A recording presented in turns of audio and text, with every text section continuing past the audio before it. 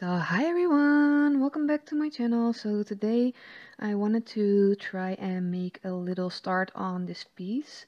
Um, I'm going to draw a tree on here. Uh, I'm using a non-permanent pencil um, and I already put some black acrylic paint on here.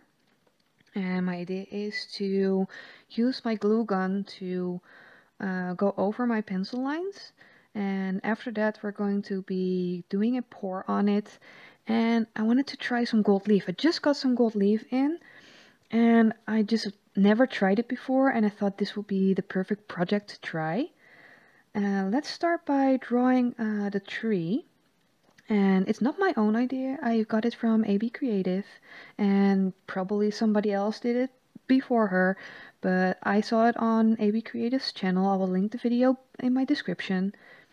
So let's start by probably the trunk. So I think it would be like somewhere here. And then of course you get the roots.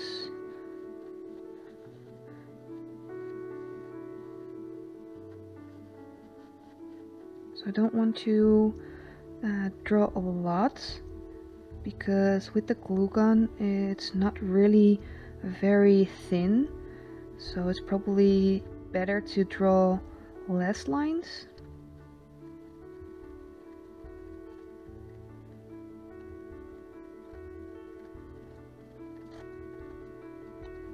So I think that should be enough of a root system because I also want the pour to be still visible.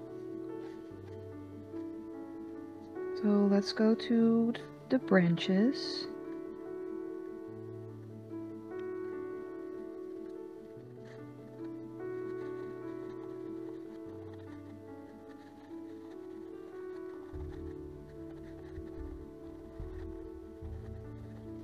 Okay, so maybe one more branch around here.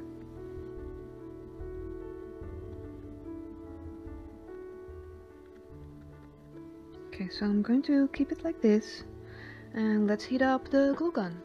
So I heated up my glue gun. I couldn't find my big one, so I'm using my smaller one. And I just got a piece of plastic so I can wipe it down. Well, let's just start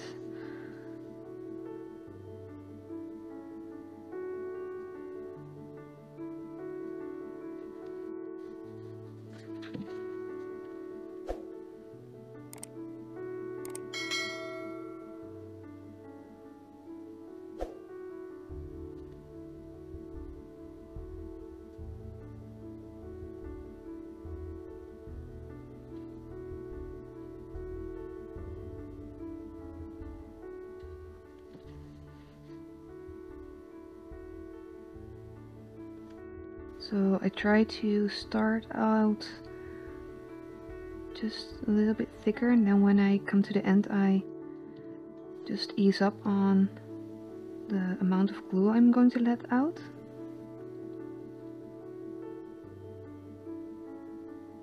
And at the very tip I'm just pressing the nozzle into the canvas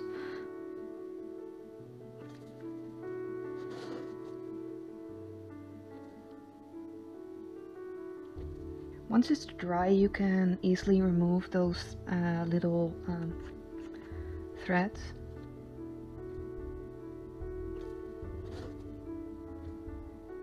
So as you can see I tried to give it a little bit of a twisted shape. I thought it would look a little bit more interesting than just a normal straight tree.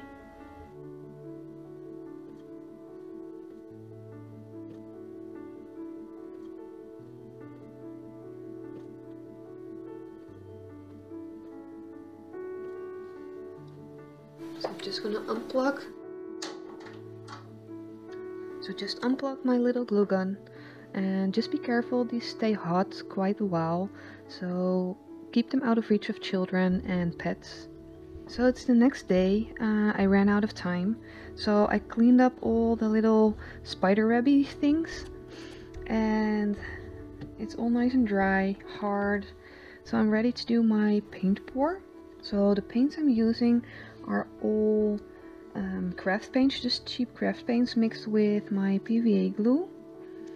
I had them laying around and I wanted to finish them off, so let's pour these in the cup. I made them pretty thick.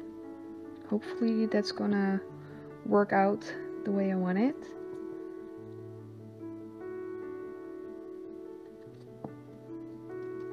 And I made up a dark purple, a lilac, a metallic purple, Then I've got a baby blue and a blue metallic. So I didn't make up as much of the um, metallics as I did with the other colors just because I don't want it to be too much. So let's add some more.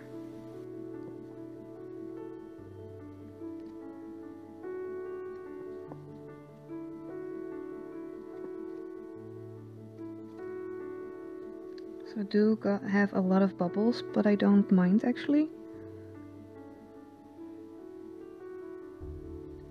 It will create some interest in the painting. So let me show you the cup. Looking pretty, pretty cool, nice lines.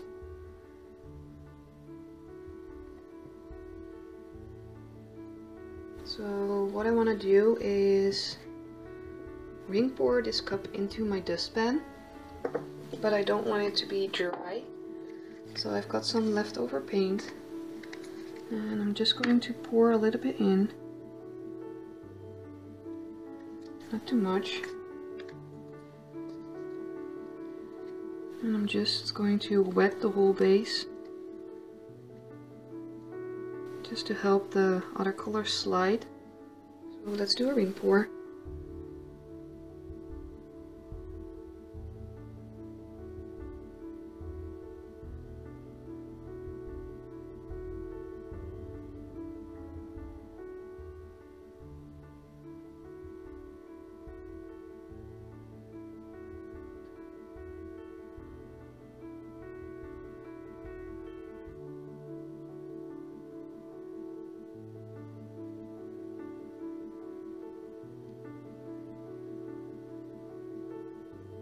So it's looking pretty nice. I'm going to just try and get the paint to be on both sides.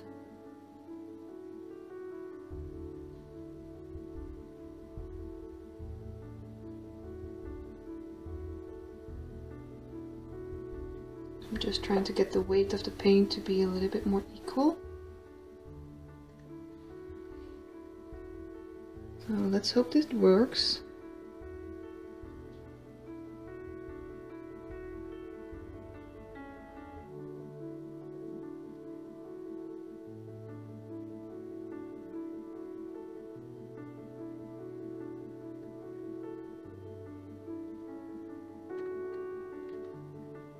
There you go. My dustbin is looking stunning. Let's torch this one.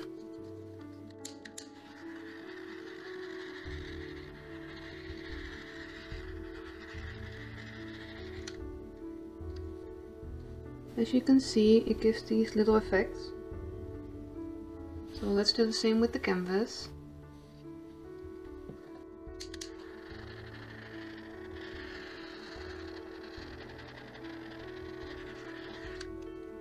So what I'm gonna do now is put a little bit of the thinner paint around the edges. So let me think about this. See if we can get it to move.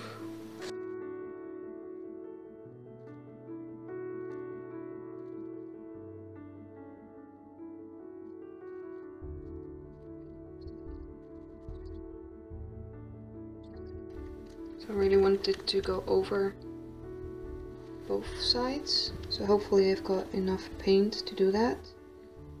It's just moving very slowly because it's really thick paint. So just have to have some patience. So that took a little bit of time. So it's a bit busier than I wanted. I wanted it a little bit more like this. But that's my own mistake by keeping my paints too thick. So I'm going to let this dry. Probably gonna take a couple of days and then we'll come back to do the gold leaving. So I was just moving my piece and this happened. So I will have to peel it off.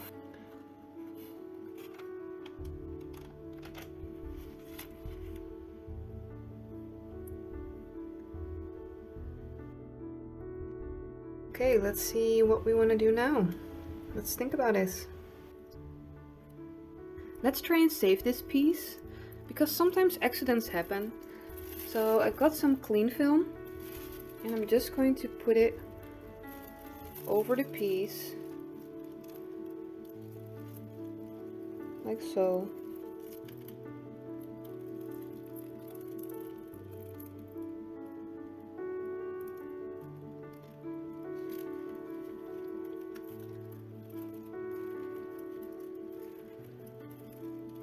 Down for a second.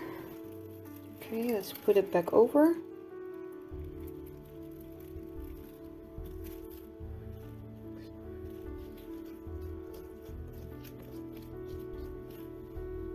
And let's pull it back again.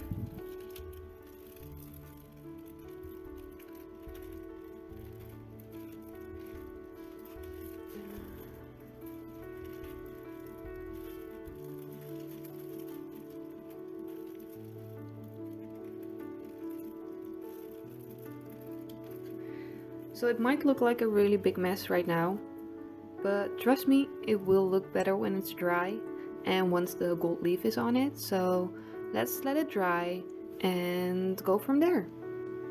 My piece is finally dry. It took three days to dry completely, but as you can see, it stands out pretty nice. And I, I actually like the results. It fits my nails. So let's do the final step and that's adding some gold leaf to the raised areas. And I'm just going to use some cheap craft glue. I think that will work fine.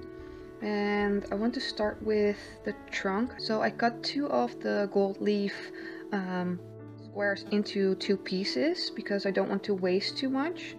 So let's do a little bit of the glue.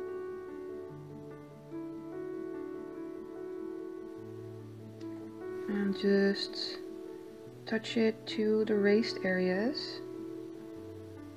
And I could use a brush for this but with my finger I can feel way better um, if I'm just touching the top. Okay. Now comes the tricky part. So it's in between two little pieces of paper and one side is a looks like to be a little bit more shiny. So I actually want that part to stay on the paper. I've never used this before so it's really really really thin. And it likes to so that doesn't really work. Oop. making a big mess already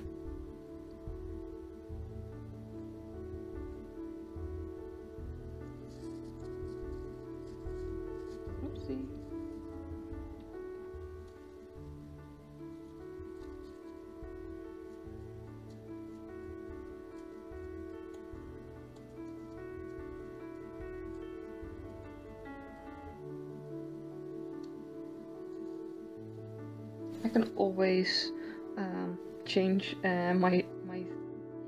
So I can always think of a different way. Maybe use a marker.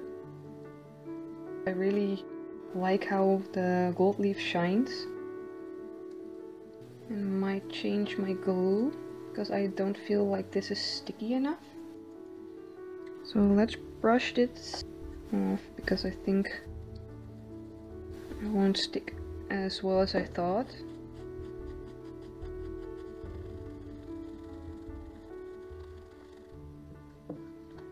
Pretty though. I got this tiny container so I can put the little pieces in because I could use it for another craft um, like maybe add it to some resin. So let's clean this up and get my other glue see if that one will work better. So let's try this again.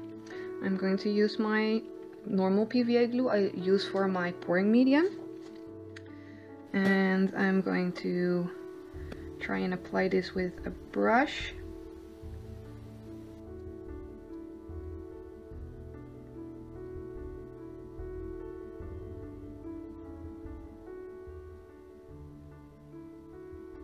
So I'm just letting this area dry a little bit.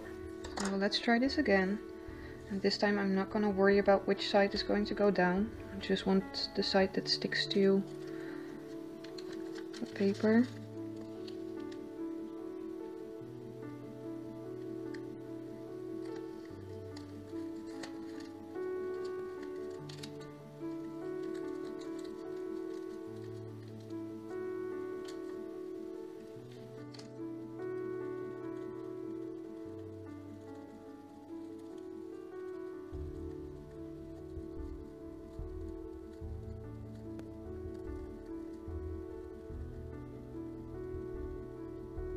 Trying to press it down so it will stick. And I might have to leave it to dry before I try and rub the rest off and see how much did actually stick. But it does look better than the first try. So I'm not gonna bore you with the rest. I'll just show you when I'm done. So I'm completely finished with adding the gold leaf. I'm going to let it dry and then I'm going to brush over it again. But just a little tip to get all of the smaller parts off. This is one of those lint rollers.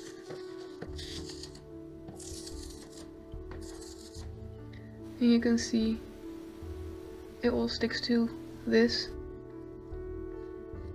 So it's really easy to clean because if you use like a dustpan or a hoover, it will fly everywhere. So here's the final result. I'm really, really happy with it. It looks so good. Look at the shine. It's like really crazy. It's not perfect. The gold leaf isn't perfect. I've got some areas where it's smudged. But that gives it character. Um, it's art. It doesn't need to be perfect. It's just if if if you hang it on the wall, you walk past it, it shines like crazy. I love it. I I really love it. Um, I will have to try the gold leaf again. Uh, I will use the same PVA glue because it stuck really well. And the trick with the lint roller, perfect. No more glittery stuff on my table. So I really hope you enjoyed this. Uh, thank you, AB Creative, for being such an inspiring artist and always being kind and sweet to your followers. So, this is this piece. I hope you like it just as much as I do. Thank you for watching, and I'll see you in the next one. Bye, everyone!